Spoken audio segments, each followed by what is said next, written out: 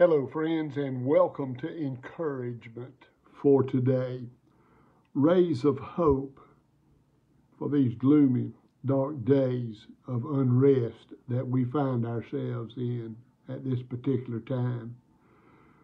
Well, friend, let me invite you to pick up your copy of God's precious Word and turn with me over to the book of Psalms, God's songbook the book of Psalms, and we want to look at Psalm number 34. We'll begin our reading in verse number 17. Beautiful words this morning that can certainly be a pick me up to carry us through these dark times.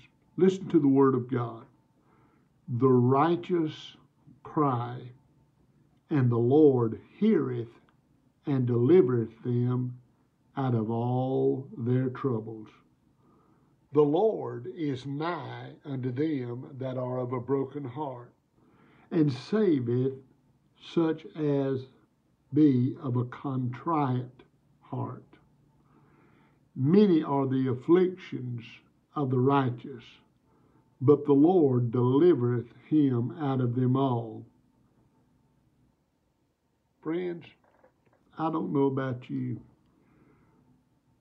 but those words blessed the old preacher's heart this morning. I lost another friend to COVID uh, last night. Uh, one that uh, was unexpected, really. The pandemic and plague is running wild. But, friend, we serve a God that is strong and is living. Listen to the words again.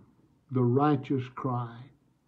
Friend, if there's ever been a time that you and I need to cry out to God, we're living in that time right now. We're seeing so much death and sickness in our land because of this plague and other diseases till uh, as a fellow said to me yesterday, preacher, these are scary times. Well, they can be if we allow fear to invade our soul. But these should be some of the most rejoicing times that we've ever had because the Bible is fulfilling itself right in front of our face.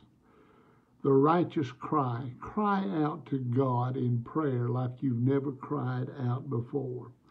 Listen to this. Boy, this blesses my soul. When the righteous cry out, the Bible says here, the Lord heareth. Praise God. Friend, I'm going to tell you something. It's great to know that we serve a God that hears our prayer. The Lord is close to the brokenhearted, and He hears our prayer. The righteous cry, the Lord heareth, listen, and delivereth them out of all their troubles. Now, friend, listen to me. We would have the Lord to deliver us physically today. That's our greatest desire. That this plague that has hit our land, that it will just be ultimately destroyed. That's our prayer. But you know, friend, God's ways are so much higher than ours. Uh, it broke my heart this morning whenever uh, I heard about uh, a dear friend that I pastored a number of years ago that went to be with the Lord. In one way, my spirit is broken and my heart is heavy, and I grieve with the family because I have compassion and love for them. But yet, there's still a sparkle of uh, rejoicing in me, for the Lord has delivered that one out of all their troubles. The Bible says to be absent from the body is to be present with the Lord. And friend, if this precious one that I'm speaking of didn't make it, I'm in trouble because this one loved the Lord with all their heart. And uh, the Bible says, precious in the sight of the Lord is the death of his saints. And when we cross from this life to the next, we enter a land where there's no suffering and no sorrow. The Lord will deliver whether he delivers in the physical or whether he moves us into the spiritual realm. The righteous cry, and the Lord heareth and delivereth them out of their troubles. The Lord is nigh unto them that are of a broken heart, and saveth such as of a contrite heart.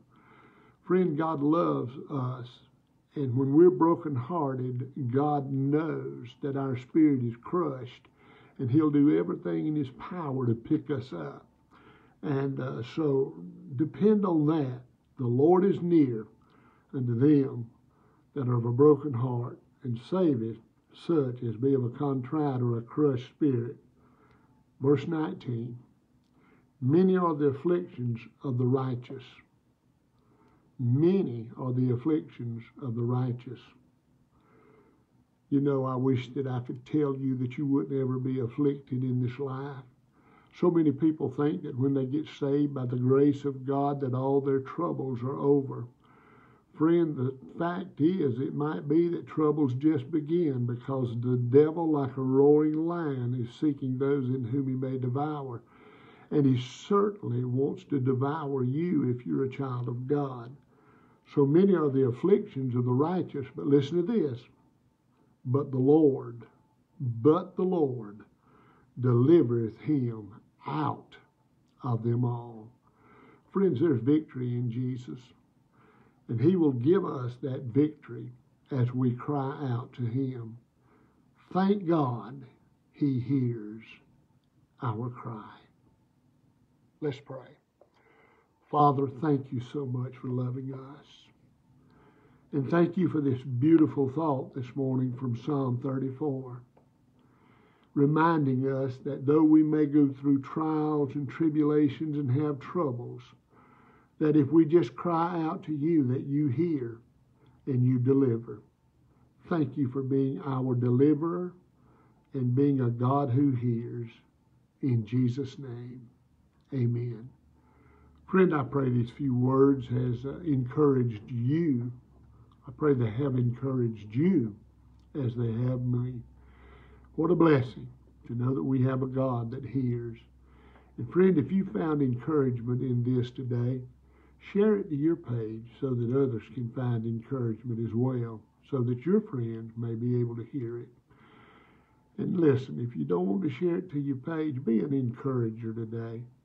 This world needs somebody, someone to encourage them. And the great encourager is the Lord. So encourage somebody today by sharing a ray of hope with them the light of Jesus that shines forevermore. God bless you and have a wonderful day.